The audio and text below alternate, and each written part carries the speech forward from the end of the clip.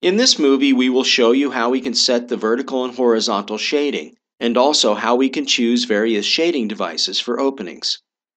Make sure the openings list is activated in the Energy Model Review palette. We'll set the shading devices first. Notice that all openings are set to None type in default. Let's sort the openings according to the glazed area by clicking the top of this column. Select all openings above 0.80 square meters. Hold down the Control key and click the door on the east elevation to deselect the entrance door. On the top of the selected items, click the right pointing arrow button in the Shading Device column. In the appearing pop-up, we can choose various devices. Let's select the shutter type. Let's click one of the white rows to deselect the edited openings. To quickly present the vertical shading settings, we will set openings only on the west elevation.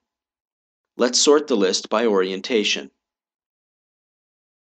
The middle building mass of this elevation shades the openings on both sides.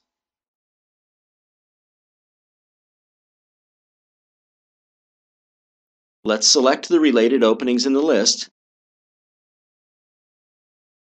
and click the arrow button. Choose the partly shaded vertical shading type from the pop-up. We'll set the horizontal shading on the openings below the terrace area. These openings are totally shaded by the terrace slab.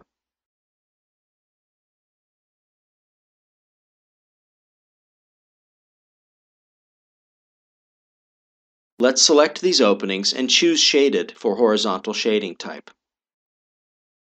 An easy-to-use interface helps us follow the selections in 3D and provides a quick way to fine-tune the shading properties in our project.